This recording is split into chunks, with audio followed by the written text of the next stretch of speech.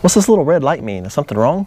No, there's nothing wrong. The little red light on the smart isolator is a status indicator. So when that light is on, it means the isolator has the batteries linked together. When the light is off, it means it has the batteries separated. Now that helps protect the cranking battery from being drained by your aftermarket accessories that you have hooked up to our power and ground bus bars here.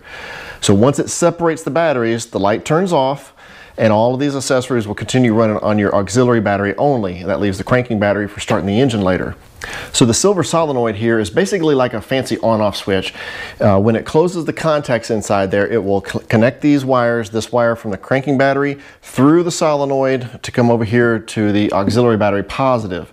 Uh, that links the batteries together in parallel, so you got positive to positive and your two negative wires are connected together all the time.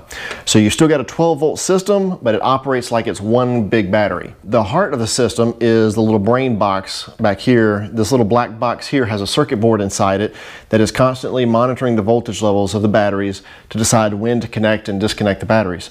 So when this thing sees your cranking battery above 13.2 volts for two minutes, that's when it will close the contacts inside of here and link the two batteries together. Now they're going to stay connected together as long as your cranking battery stays above 12.7 volts. So 12.7 is the threshold. As they start to drain down, when they hit 12.7, the isolator will separate the batteries and all your accessories will continue running off with the second battery only.